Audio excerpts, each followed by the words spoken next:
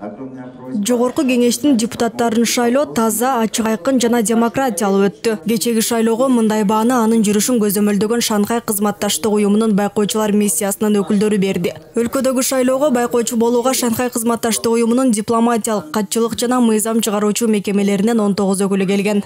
Активно осуществляли наблюдение в бишкеке борбордук шайлоо комиссиясынын жетекчилиги катчылык аймактык шаардык жана айылдык шайлоо участоктарынын мүчөлөрү менен жолуктук. шайлоочулор менен да сүйлөштүк. миссия боршайкомдун жыйырма бир партияны каттаганын бир миң төрт талапкер болгонун белгилейт. Баардык шайлоо тилкелеринде үкөктөр менен баардык жабдыктар жетиштүү болду.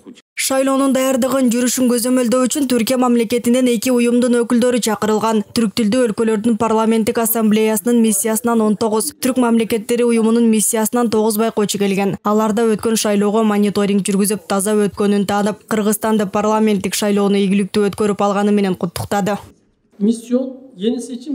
кыргыз республикасында шайлоолор бул конституциянын жана шайлоо мыйзамдарынын негизинде жүргүзүлүүдө шайлоо мыйзамдарындагы өзгөртүүлөрдүн киргизилиши баардык жарандарга тең мүмкүнчүлүктү камсыз кылат талапкерлердин да бирдей шарттарда катышуусун камсыздайт демократиялык шайлоолордун жүргүзүлүшү үчүн кыргызстан бир катар эл аралык жана регионалдык документтерди колдоп келет кмшнын аткаруу комитетинин төрагасы сергей лебедев буга чейинки шайлоодо да байкоочу болгон. Ал өткөн шайлоолорго караганда бул жолкусу жакшы уюштурулганын белгиледи. Ошондой эле лебедев борбордук шайлоо комиссиясынын добуштарды санаган автоматташтырылган системадагы мүчүлүштүктөргө токтолуп оңдоп түзөөлөр киргизилерине ишенерин билдирди.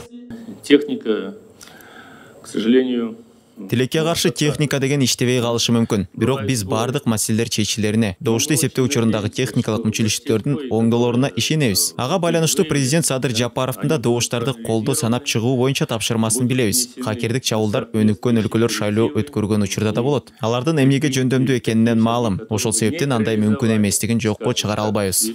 Чет өлкөлүк шайлоо органдарынан келген байкоочулардын өлкө үчүн мааниси чоң. Анткени алар шайлоо системасына ар тараптуу сереп салып шайлоо процессинде колдонулуучу жол жоболорду жакшыртууга көмөкчү болушат. Шайлоого чет өлкөлүк он тогуз элчиликтин өкүлдөрү да эл аралык байкоочу катары каттоодон өтүшкөн алардын баары шайлоо тилкелерин карап аймактарга чейин байкоо жүргүзүшкөн шайлоо мыйзамына киргизилген өзгөртүүлөр шайлоо процессин жакшыртууга жардамын берди. ага көпчүлүк шайлоочулардын ээн эркин кысым көрсөтүүсүз добуш бергени мисал шайлоо жалпысынан олуттуу проблемасыз өттү. Биз бишкек шаарындагы жана аймактардагы бир нече участоктарды карадык. Ал эми жогорку кеңештин депутаттарын шайлоого көз салган европа коопсуздук жана кызматташтык уюмунун байкоочулары шайлоого элдин кызыкчылыгы сустаганын билдирип электрондук системадагы мүчүлүштүктөр тууралуу кенен маалымат берилиши керектигин айтты. Борбордук шайлоо комиссиясы жогорку кеңештин депутаттарын шайлоого жети жүз отуз алты байкоочу расмий катталганын маалымдаган. Эл аралык байкоочулардын ыйгарым укуктары аккредитациядан өткөн күндөн башталып шайлоонун жыйынтыгы расмий жарыяланган күнү аяктайт. Талай билдерматова адилет марсбеков бешинчи канал